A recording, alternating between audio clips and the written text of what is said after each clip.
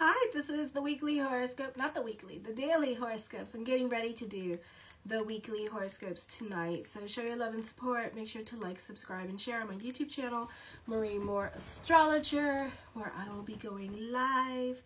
Yes, so check that out um, and show your support on that channel and make sure to like, subscribe, and share. share.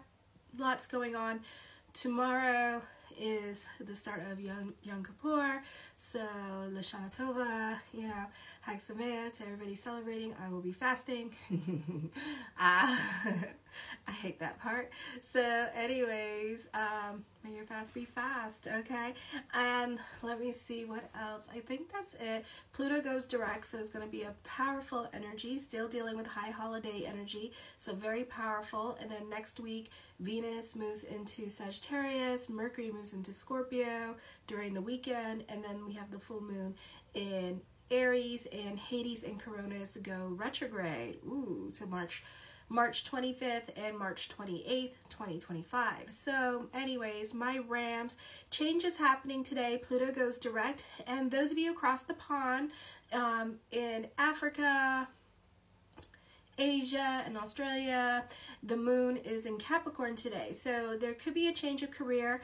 Your employer or superiors may be going through difficult personal crisis and kind of taking it out on you at this time. So it's best to just like lie low, stay, stay out of their way and keep your name out of their mouth today should be the name of the game. I feel you could have some exciting opportunities for professional advancements may present themselves to you, but stability in career could be hard to come by and short-lived. I feel there's lots lots of talks of future future coming up for you as well. So things to get excited about and look forward to. Then the moon in Aquarius in North and South America in the 11th house of friendship networks and goals. Friendships tend to have practical usefulness at this time, or you can be more focused on getting things done in your personal life and accomplishing certain goals. It is a good time to seek advice from others who are older than wiser than you. It is a good time for community or organizational involvements, lots of volunteerism going on to go to hurricane relief shelters, or you could be joining a volunteer organization in your city to help support the hurricane relief. There is a special feeling of belonging to groups, especially if you're working or if you're involved in sports or at school. You could feel like those people are more like family to you today. The focus can be more about your goals and taking care of your personal life today as well.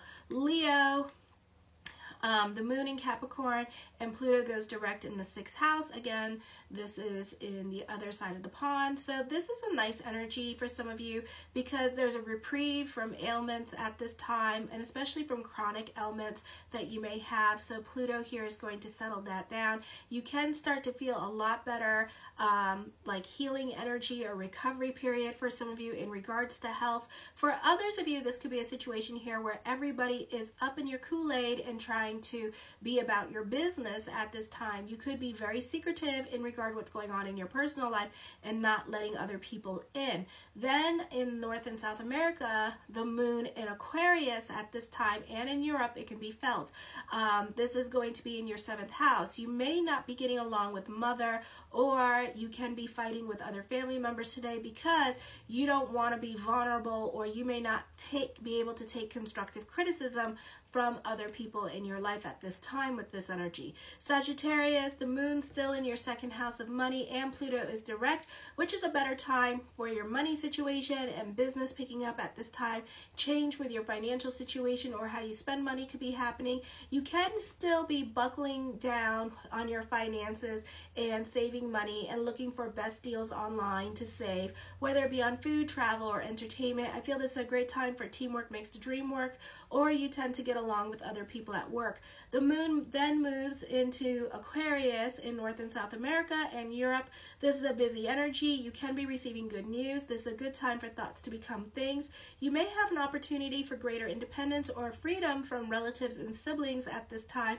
Those of you who are younger, you may get your own room at this time. If you're older, you may find that your neighbors give you more space at this time with this energy. Show your love and support to your girl Marie, and I look forward this evening to see you on my YouTube channel, on my live, and support that by liking, subscribing, and sharing. Kisses. Mwah.